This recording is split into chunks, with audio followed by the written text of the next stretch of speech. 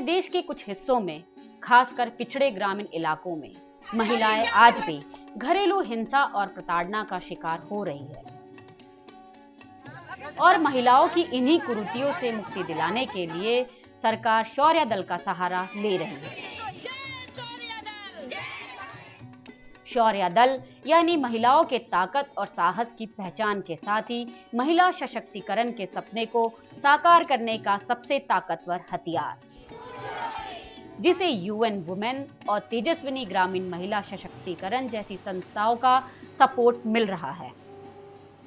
मैं इसे एक कार्यक्रम के रूप में ना देख करके, एक अभियान के रूप में, एक मिशन के रूप में देखती हूँ, जिसके जिसके माध्यम से समाज में एक परिवर्तन लाया जा सकता है। खास करके सोच में परिवर्तन लाया जा सकता है। और इसका एक महत्वपूर्ण हिस्सा जो है कि ये सिर्फ़ महिलाओं का मुद्दा ना हो करके इसमें पुरुष और लड़के भी विशेष रूप से शामिल हैं। तो महिला हिंसा जो है वो सिर्फ़ महिलाओं की ज़िम्मेदारी नहीं है, पूरे समाज की ज़िम्मेदारी है और उसमें पुरुषों को जोड़ना बहुत महत्वपूर्ण है। दरअसल प्रदेश के 20 जिलों में शौर्य दल के गठन के सकारात्मक परिणाम सामने आने के बाद सूबे की सरकार प्रदेश के सभी जिलों में शौर्य दल का गठन करने जा रही है। जिसके लिए राजधानी भोपाल के होटल पलाश में शौर्य दल की राज्य स्तरीय कार्यशाला का आयोजन किया गया जिसमें प्रदेश सरकार की महिला एवं बाल विकास मंत्री माया सिंह के साथ ही महकमे के तमाम आला अधिकारी मौजूद रहे। इस दौरान शौर्य दल को और सुदृढ़ बनाने के साथ ही महिलाओं की मौजूदा स्थिति को और बेहतर बनाने की बात पर ज़ोर दिया गया। शौर्य दल की के, लिए हमने कार्यशाला का आयोजन किया है और इसमें हमारे सभी जो महिला सशक्तिकरण के अधिकारी हैं डीपीओ और सीडीपीओ वो यहाँ मौजूद हैं और इनके प्रशिक्षण का कार्य पूर्ण होगा तो नीचे ज़िलों में जाकर हमारे शौर्य दल के जो लोग हैं उनके साथ सहभागिता करेंगे और उन्हें सारी जानकारी देंगे। अभी शौर्य दल का गठन मध्य प्रदेश में 20 ज़िलों में हुआ है और उनकी सफलता की कहानी जब हमने मध्य प्रदेश के मुख्यमंत्री जी को इंटरनेशनल वीमेंस डे के अवसर पर दी थी और महिलाओं ने आकर अपनी बातें जब वहाँ शेयर की और बताई, वो इतने ज़्यादा अभिभूत हुए और उन्होंने वहाँ पर कहा था, इस शौर्य दल का गठन मध्य प्रदेश के इक्यावन पूरे ज़िलों में होना चाहिए।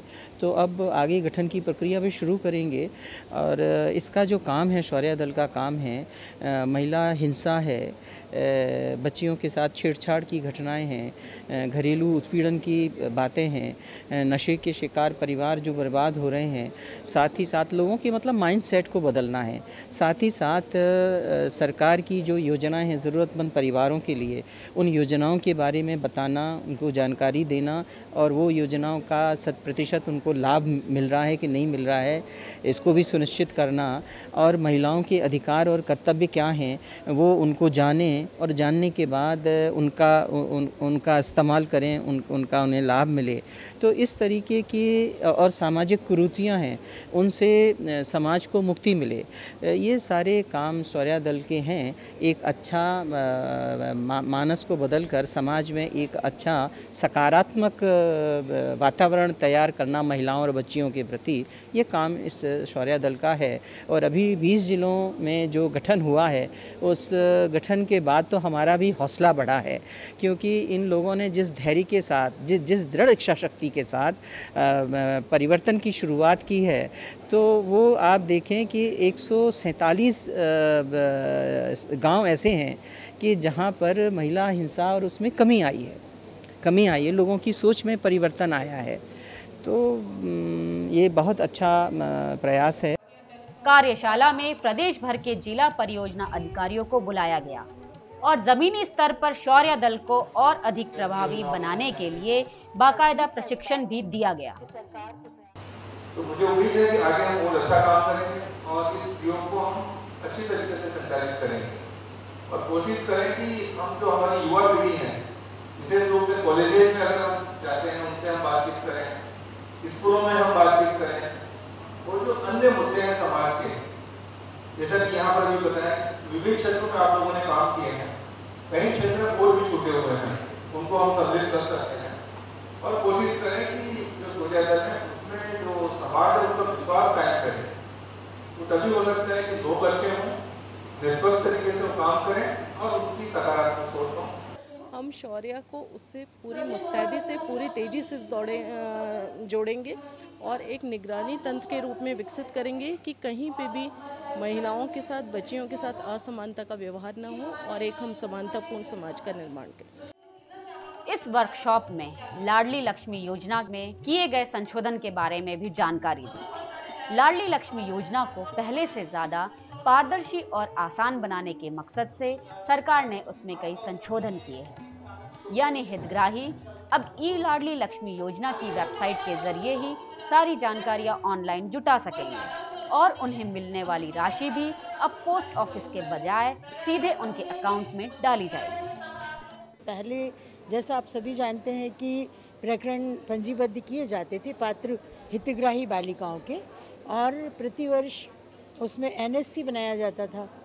लेकिन अब व्यवस्था में परिवर्तन करके उसको पूरा ऑनलाइन किया गया है। क्षेत्रीय स्तर पर हितग्राही बालिका का प्रकरण स्वीकृत किया जाएगा और बालिका के पेरेंट्स को, बालिका को स्वीकृति पत्र दिया जाएगा। जो राशि है, उनको जिस तरीके से देना है फ़ेज़ वाइज जो भी उसकी फ्रिक्वेंसी है, वो सीधे खातों में जमा होगी। वो प्रमाण पत्र बालिका को दे दिया जाएगा और जब बालिका 18 बरस की होगी तो वो संपूर्ण राशि एक मुश्त उसको मिल जाएगी। पिछले कुछ सालों में प्रदेश में महिलाओं की स्थिति लगातार बेहतर होते जा रही है, जिसका श्रेय यकीनन शौर्य दल को भी जाता है। जो स्त्री की सखी सहेलियों के ऐसे समूह के रूप में उभरा है, जिसने प्रदेश की हर अबला को सबला बनने की हिम्मत तो दी ही है साथ ही जागरूकता के ज़रिए समाज की विकृत सोच को बदलने और महिलाओं के लिए माकूल माहौल तैयार करने में बेहद अहम भूमिका भी निभाई है। Bureau report NV news, Bhopal.